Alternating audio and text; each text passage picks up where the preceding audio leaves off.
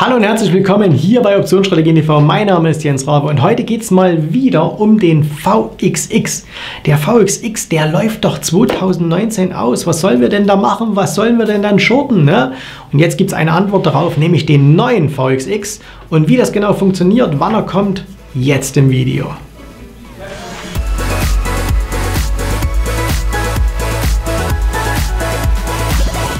Den VXX, den kennt ihr ja alle. Ne? Das ist ein ETN, also ein sogenanntes Exchange Traded Note, ein Produkt, was Barclays im Jahr 2009 aufgelegt hat und äh, mittlerweile also ein, ein wirklich sehr, sehr beliebtes äh, Instrument, sowohl für Optionshändler als auch für viele andere Händler.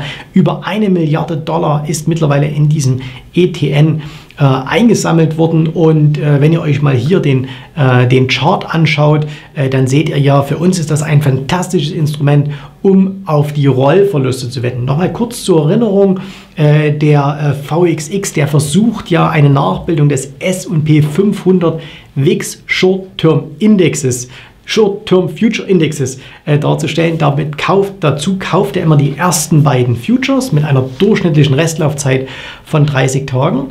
Und äh, das heißt, er muss jeden Tag von dem einen in den anderen Future rollen. Und da diese Futures in der Regel immer in einer Contango-Situation sind, das heißt, der zweite ist teurer als der erste, entstehen permanent Rollverluste. Und das führt eben dazu, dass dieser äh, ETN permanent im Preis fällt. Das heißt, den zu kaufen, nicht so sehr sinnvoll, den zu langfristig betrachtet, den zu verkaufen, zu shorten, kurz darauf zu schreiben, ist sehr, sehr sinnvoll. Kurzfristig kann man ihn natürlich auch mal long handeln. So.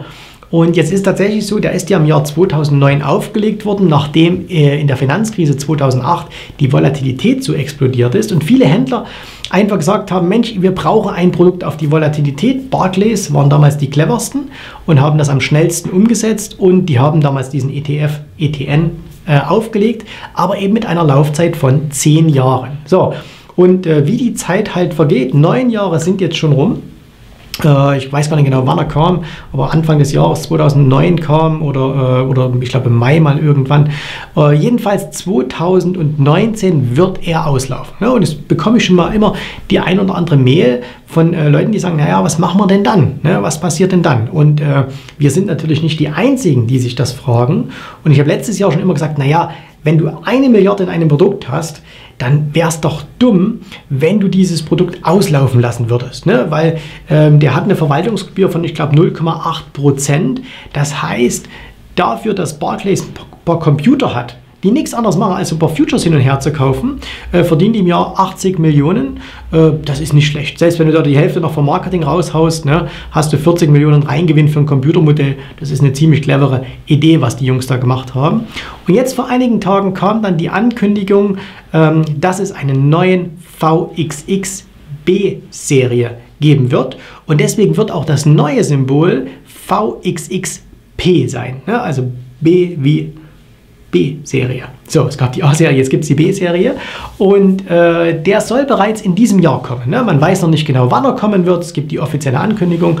Und der wird aber bereits äh, in diesem Jahr kommen. Das heißt, noch vor dem offiziellen Auslaufen des. Ähm, äh, des alten VXX und es gibt auch schon ein paar Einzelheiten, äh, was man weiß, nämlich Nummer eins, sie können parallel gehandelt werden. Also es wird sowohl den alten als auch den neuen gleichzeitig geben. Der Aufbau wird nach den Informationen, die man jetzt hat, identisch sein. Es wird genau wieder das gleiche Produkt sein.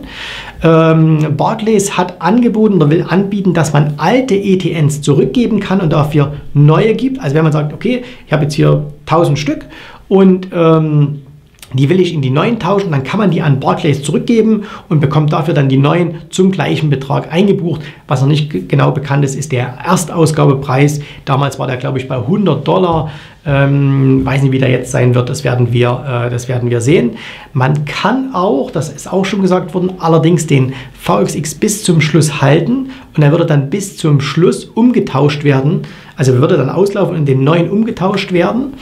Ähm, allerdings, und darauf weist auch äh, Barclays hin, sollte man sich vorher mit Barclays in Verbindung setzen und auch seinen Broker fragen, ob er das Ganze macht.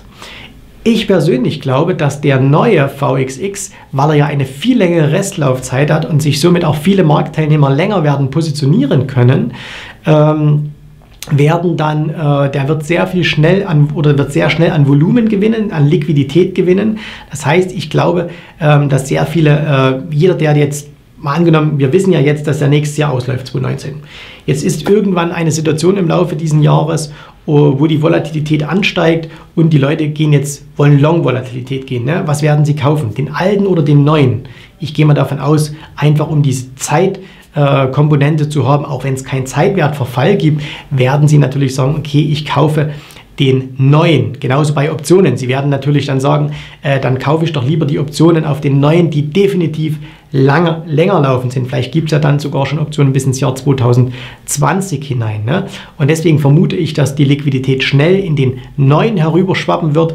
Und ähm, wir sollten dann auch immer einfach mit der äh, Liquidität gehen. Das heißt, wir sollten schauen, wo sind die Volumen größer, wo ist die Liquidität größer, weil dort werden die Spreads zwischen Bid und Ask sehr, sehr eng sein. Wir, sehen, wir wissen ja jetzt schon, der VXX ist ein fantastisches Instrument, was die Liquidität anbelangt. Äh, da werden wirklich Tausende und Abertausende Optionen jeden Tag gehandelt zu sehr, sehr engen Spreads. Interactive Brokers hat ja zuletzt und ein paar andere Broker auch, haben ja zuletzt ähm, ein bisschen das, äh, quasi das, das Gas vom Feuer genommen, indem sie die Margin-Anforderungen für dieses Produkt hochgesetzt haben. Ähm, nichtsdestotrotz weiterhin ein sehr, sehr aktiv gehandeltes Instrument und auch wir handeln es nicht mehr ganz so regelmäßig wegen der Margin, aber in Sondersituationen, Vola geht hoch, ne, dann ist das immer noch für mich ein super Instrument, um da wieder Short-Volatilität zu gehen, äh, um da wieder was mitzumachen, wenn man irgendwie Signale dann entsprechend bekommt. Ne? Man sollte eins mal mit bedenken, das können wir jetzt noch nicht einschätzen, wenn sehr, sehr viele, die momentan long in diesem ähm, äh, oder die auch short in diesem Instrument sind, sagen, sagen wir mal von denen, die short sind, wenn jetzt viele dieses alte Instrument weggeben oder wieder zurückkaufen, ne? viele sind ja short, es gibt, weiß gar nicht, wie groß die Short-Position ist, ist riesig, äh, wenn die natürlich jetzt alle sagen, ich kaufe den jetzt mal, äh, um in den neuen dann wieder short zu gehen, könnte das kurzfristig dafür sorgen, dass der äh, alte äh, ein bisschen steigt ähm, weil so viele Käufe reinkommen, was dann auch ein bisschen unabhängig ist, vielleicht sogar von der Volatilität.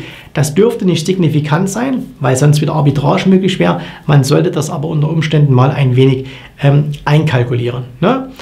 Also, ich freue mich auf jeden Fall. Ihr könnt euch auch freuen. Wir wissen also jetzt, dieses tolle Instrument wird uns also auch die nächsten Jahre erhalten bleiben. Das heißt, es lohnt sich auch jetzt noch, sich mit dem Thema Volatilität zu beschäftigen, mit diesem neuen Volatilitätsprodukt. Und ähm, es wird natürlich auch, es gibt ja nicht nur den VXX, sondern es gibt auch, ich glaube, den VX Z heißt er, glaube ich, der auf die mittleren Futures setzt. Den wird es genauso als neue geben. Also auch eine Serie B wird es da geben. Und äh, der wird zum gleichen Zeitpunkt jetzt wieder emittiert werden von Barclays wie ähm, der VXXB. Also dann, Volatilität gesichert, Haken ran, können wir die nächsten elf Jahre weiter handeln. In diesem Sinne, euch viel Erfolg an den Märkten. Wir sehen uns wieder beim nächsten Mal. Tschüss, Servus, macht's gut. Bye, bye.